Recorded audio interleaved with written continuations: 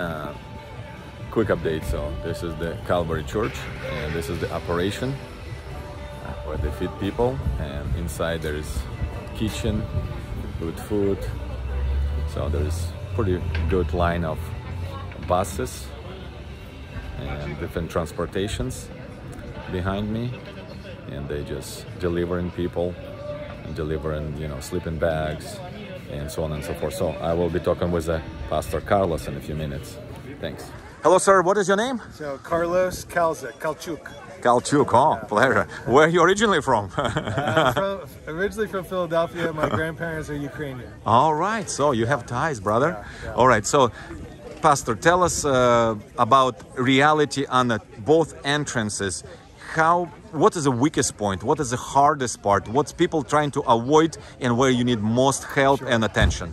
So we have teams on both the San Ysidro side and the Otay Mesa side, uh, both on the on the Mexican side and the U.S. side. And those those teams that are on the border, particularly this uh, Otay Mesa, we need more support. We need more help.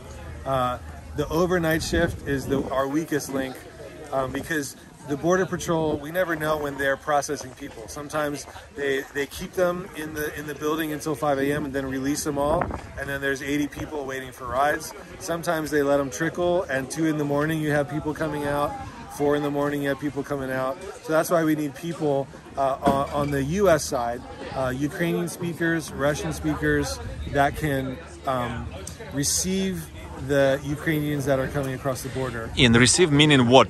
Just give us practical. What So you know? once they cross, they would call us, and we would have vehicles to pick them up and bring them here to the hub to Calvary. Do they have a phone number already from already volunteers? Okay, so they There's always going to be a, a head person here that they'll call and say, "Hey, we have a family of five. They need to be picked up," and we have vehicles ready and waiting to go down there. Um, but we need people throughout the night. The night shifts are the, our weakest link right now. So you don't need uh, particularly drivers through the night yet, but you need the people who can be receivers and those kind of a charitable arms to kind of Exactly. comforting We have arms. a lot of drivers right now. We just need people that are waiting there Okay. to receive them in the middle of the night. So this is very clear because it's so much chaos going on right now. So many people want to help, but they don't know. They, you know, afraid. Sure. Yeah. So, and but if they have a passport and they may speak Spanish, you know, or speak uh, Ukrainian or Russian, have a passport and want to go to Mexico, they, they, they, we have 700 people waiting now on the border that we're working with, that we're trying to give blankets, food, uh, but we need translation help there as well. Uh, comfort, you know, at this point they've been traveling for a couple of days. There's a lot of questions. They're, they have to wait there for, you know, 36 hours, 24 hours, and so there's there's need on the border as well. Uh, what was 150 was now 400, and now 700 people. Tomorrow, the next day could be a thousand that are that are there waiting on the border. yeah, that's what we heard as well. That its number can increase. You not we're not reached peak yet. All right. Thank you very much. And again, what's a website for folks to register? CalvarySD.com and just click on Ukraine Relief. They can choose whether they want to help with housing, with driving, or with helping uh, on the border there. All right, Pastor. God bless. Thank you very much. Take care. Hi, what is your name, sir? My name is Aaron Szloboda. I'm one of the pastors here at Calvary San Diego.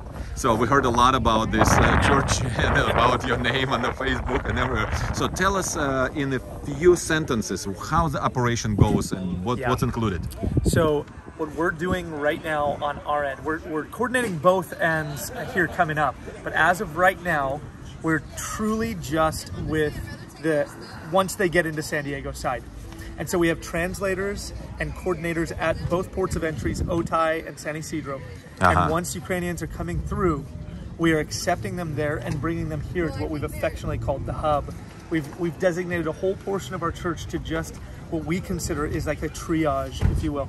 They come in, Continue, continue. yeah. Uh, So they come in to us and we welcome them and we share with them what it is that we can offer. And what it is that we're offering, first and foremost off the bat, is a ride away from the border. We all know the border is messy. Yeah. And so if families are coming to pick them up, that's the worst place to have them. Right. If, if, if they're go, trying to get to the airport, they're going to get scammed by taxi drivers and everyone else.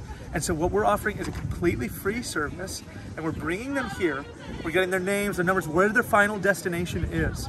And a lot of times they're coming across and they're saying, look, I have a plan, but I didn't buy my ticket or anything yet because I don't know, I didn't know Uh-huh. if I could get across. Right, right. And so we're saying, great, we've got our computer set up. Go ahead and print out your boarding passes and stuff.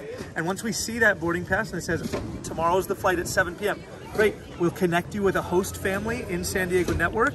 Mm-hmm. And you will sleep there for the night, and they'll take care of you for the whole day, and then we'll take you to the airport to get you on the plane. So it looks like it's pretty pretty well organized. I can see this live live uh, deliveries going on. But uh, when did you start it? How many days ago?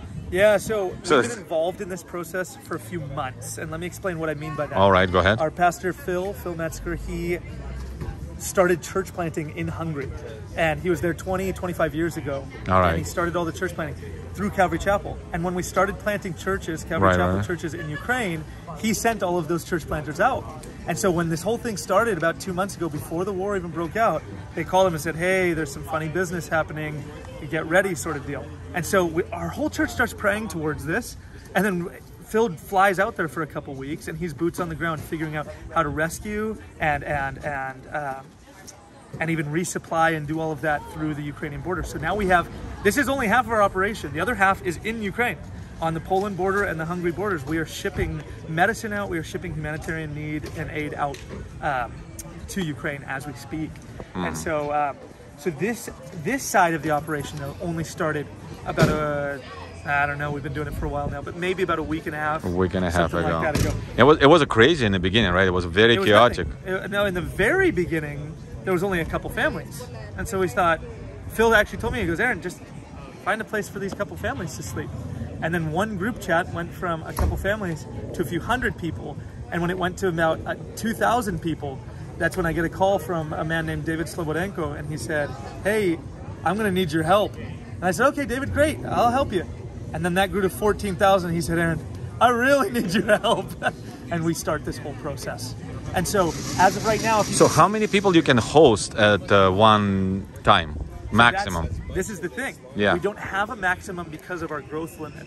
And so the, the, the maximum is actually based on the Border Patrol agents here in the United States. They're only allowing about 200 to 400 people daily to come through. And you're so- capable to And we're capable to do that all day long. 200 to 400 Two to people. 400 people easily because we're not having them all sleep here. Those that are getting a host family, we're sending them out. And Yes, so there's a yes. network of families that hold these Is this only through the church community, or is some uh, secular families involved? So we started just with our church community. All right. And now, because we've gone through different news outlets and things, we've grown to be quite large. Okay. And so we have a vetting process on our website. If you go to calvarysd.com, you can hit the tab that says Ukrainian Relief. And when you have re- Ukrainian Relief, there's two ways that you can help. We have a Give tab. And the reason why we're asking people to give financially and not through uh, water and food and all that is because the needs are changing and evolving every eight hours. Because right, the right. border situation is changing. So, like today, the biggest change for today was we need hats and we need sunscreen. But you know what it was two days ago? We need umbrellas and we need jackets. Uh-huh, because and of so cold it's and changing, rain. It's Yeah, yeah. evolving every single single day, and so that's where we need the help. The second portion of that page is how to get involved. And so if you're local in San Diego, you can fill out our hosting form to be able to host families. You can fill out our driver form to be able to drive families. If you speak Russian or Ukrainian, you can fill out our translator form and we need you Fantastic, the hub, or we need you at the border, or we may need you in Mexico. Have a SENTRI or Global Entry Pass, we need you to start the supply chain down to Mexico so we're not being taxed on everything we bring down. So if we have a people who's like, what can I do? Who do they have to contact directly? don't. And that's Okay. what we're saying because we're trying to keep the lines open for the coordinators to talk, right? Because all of our phones are getting so blown up with how do, how do I get in contact and this and that. Once you fill out that form, So this we'll is add a- you to a group chat Okay. and we'll communicate through you specifically through that group So chat. now, now it's very organized. Very yeah. Okay. All right. And uh, eh, what is the situation with the bathrooms and sanitation on the side of the Mexico? What do you heard? What do you heard about that, and how to improve that? I heard you're working with uh, some uh, local uh, me- uh, Mexican churches Yes. to help this process. Yes, what yes What is it? this side because we waited to get this side completely organized and now we are and now we're moving on to phase two, Uh-huh, which is the uh-huh. Mexico So just- because this is the the biggest problem right now because everyone who wants to get involved in in, in help they go to Mexico and when they did that there's no organization create more chaos. so there's hundreds of small little people going oh I can help you I can help you I can help you but they actually can't help in the long run. And so now we're talking with government officials, and now we're getting the permits available to ship stuff down. We're getting the permit available to have bathrooms set up right there at the border. We're getting all of this Awesome, available now. awesome. So we just need a little bit more time to get Mexico organized. So uh, one more time. Uh, best way to get in it's through the website, Through the website. calvarysd.com. Dot com. All right, and there is uh, multiple options, and you put them in particular chats if you want to be drivers or Yes. interpreters. So, okay, just volunteers. Fantastic. So, And anything else you want to? Group, If you're a big group, Big group, yeah. and you're going, oh, you know, we have 50 interpreters, we have this. I don't, I can't have all Right. 50 of my people sign up. It won't be quick enough. Great, we have a group form. Submit that group form, and we will give you a call immediately to see is this the best place for you to serve in, and if so, we'll get you to the necessary people you need to get to. So you have like a receptionist or somebody who's uh, right on this task, uh, answering phones or calling people, Well, right? yeah, exactly. All right. Exactly. Receiving it. So is this now your full-time ministry? It is now. we'll see if we can uh, in the in the upcoming days if we can get a few hours to go sleep. So do you expect uh, the flow and the quantity of refugees increasing, decreasing? What is your We- We, expectations? don't believe we've met our peak yet, Not, yeah. and uh, but we also expect at some point for there to be a big drop off when this administration in the United States allows them to fly in. Once we allow them to fly in, uh, and we have good intel that right now they're working. Uh, in Eastern Europe, they're sending Border Patrol agents there to start working through the permitting process before they ever even come over. And if that starts Yes. happening, they can So catch flights to come in, and- and we will no longer have the crisis at the Mexican border. And do you know any other point of entrance uh, to the United States for the Ukrainian ref- refugees? Are they coming through other um, airports or any other borders? I don't see them coming through any anything other than foot traffic right now. And so for that reason, many flights are being redirected to Tijuana, right? If you fly in to Mexico, they're trying to go Cancun to Tijuana, Mexico City to Tijuana, and they're actually having delayed flights because of it so far. Anything ca- happen in the Canadian border?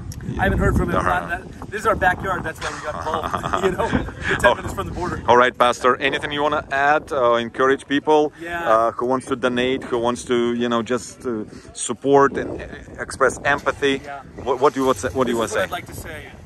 May God bless you in your effort as you seek to use your gifts to be a part of this crisis. People need it. People truly need it right now. There's families that have been traveling for days, if not weeks. And what we're asking is this we have been blessed so abundantly. We know that we live here in this country that hasn't hasn't seen more on our soil in a long time. And so let's give back. Now is our time. You've been praying, you've been doing all these things. Put feet to your faith and move and move and watch how God does this. We're just we're just trying to be the beacon and, and really the conduit of getting it to them. So don't feel it by any means that your money's not going to get there. 100% of everything's going there. We don't want your money. God doesn't want your money. The Ukrainian people right now need it though. And so we're going to help them with that. All right? God bless you guys. Thanks, man. Take care. God bless you too.